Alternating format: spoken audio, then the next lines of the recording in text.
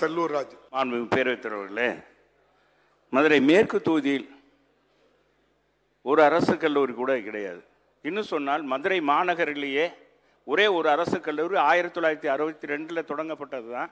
அதற்கு பிறகு தொடங்கவில்லை. அது மகளிர் கல்லூரி மட்டுமே இருக்கிறது. மற்றெல்லாம் தனியார் கல்லூரி இருக்குது. மாநகராட்சி அது அந்த பகுதியில் எந்த கல்லூரியும் இல்லாமல் இருக்குது. என்னுடைய தொகுதியில் ஏறத்தாழ மூன்றரை ஏக்கர் விளாங்குடி பகுதியில் நத்தம் புறம்போக்கு இடம் காலியாக இருக்குது ஏற்கனவே மாண்புமிகு அமைச்சர் இடத்துல இந்த கேள்வியை கேட்டேன். முதல் தடவையாக. மாண்புமிகு அமைச்சர் அவர்கள் பத்து ஆண்டுகள் நீ அமைச்சராக இருந்தும் ஒன்றும் செய்யலை.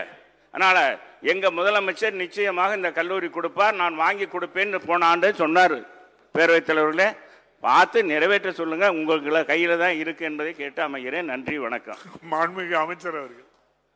மாண்புமிகு பேரவைத் தலைவர் அவர்களே முன்னாள் அமைச்சர் அவரும் கோரிக்கை வைக்க வேண்டிய கட்டாயம் இப்பொழுது ஏற்பட்டிருக்கிறது. அதையெல்லாம் நிறைவேற்றுவார் தமிழக முதலமைச்சர் என்ற நம்பிக்கையோடு தான் நீங்களும் இந்த கேள்விகளை எழுப்பிக் கொண்டிருக்கிறீர்கள். முதலமைச்சரும் அதை செய்து கொண்டிருக்கிறார்.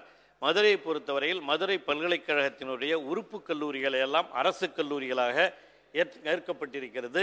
இந்த ஆண்டு மட்டும் ஆறு ப்ளஸ் ஒன்று ஏழு கல்லூரிகளை உறுப்பு கல்லூரிகளாக அதுதான் நம்முடைய சபாநாயகரும் தான் கேட்டுக்கொண்டிருக்கிறார். உறுப்பு கல்லூரியை அரசு கல்லூரியாக்க வேண்டும் என்று அவைகளெல்லாம் ஆக்கப்படும். மதுரை பொறுத்தவரையில் கல்வியிலே மிகச்சிறந்து இருப்பது தான் பல்கலைக்கழகமே அங்கே இருக்கிறது. ஆகவே உங்களுடைய கோரிக்கையை ஏற்று வருங்காலங்களிலே தேவை ஏற்படின் அதற்கான பரிசீலிக்கப்படும் என்பதை மட்டும் தெரிவித்துக் கொள்கிறேன். மாண்புமிகு அமைச்சர் அவர்கள் கேட்காமலே சபாநாயகருடைய திசையன் விளை பணகுடி ரெண்டு உறுப்பு கல்லூரியும் அரசு கல்லூரியா ஆக்கப்படும் என்பதற்கு நன்றி.